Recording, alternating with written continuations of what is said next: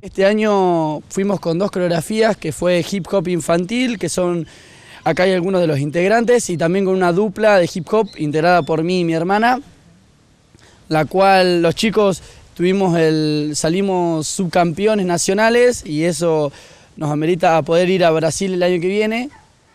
Eh, con mi hermana ah, tuvimos eh, campeones, salimos nacionales, que también podemos ir a Brasil el año que viene en octubre, primeras semanas de octubre. Y también aparte nos dieron unas menciones especiales, dos menciones especiales de mejor interpretación musical eh, y otra interpretación que era despacio, despacio, que no me acuerdo bien cómo era el nombre.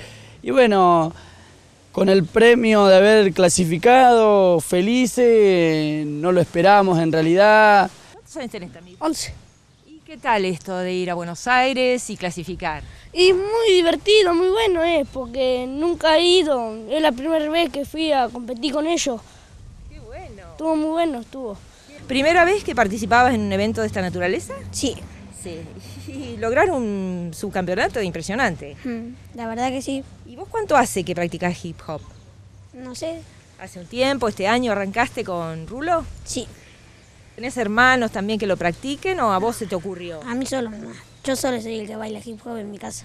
¿Y estás contento con hip hop? ¿Te gustó la coreografía que les planteaba Rulo? Sí, ¿Sí?